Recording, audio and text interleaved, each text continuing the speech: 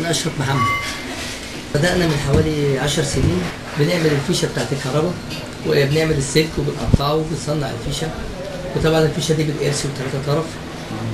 آه، حاجات ممتازة أحسن من منتج الصين إحنا بنفكر بنعمل حاجات جديدة يعني بنعمل ال- الشفشق والبودي والمطحنة بنعمل اللوحة بتاعت الكهرباء.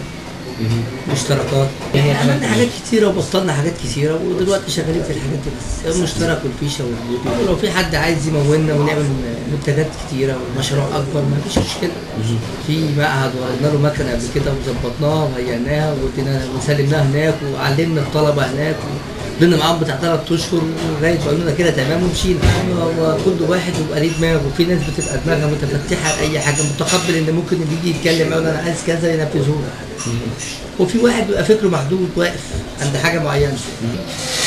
إحنا ممكن ننفذ لاي حد أي حاجة هو عايزها. أي منتج هو عايزه ممكن نتعاون معاه. إحنا عايزين نعمل دي وإحنا عندنا في مصر هنا إمكانيات عالية. وعندنا ناس بتعمل مكن أحسن من المكن اللي بيستورد من بره وفي ناس هنا عندنا في مصر فيها فكر عالي وناس كويسة. بس فين اللي يشجعها؟ في حاجات سهلة كتيرة زي المفتاح بتاع المشترك ده ما هو ممكن نعمله هنا. بنستورد منه ملايين. الترامل اللي هي بتركب بالمشترك الفيش اللي بتنزل المشتركات اللي بتيجي وغيرها وحاجات كتيرة. والفواريس بتاعت رمضان والسريات بتاعت رمضان.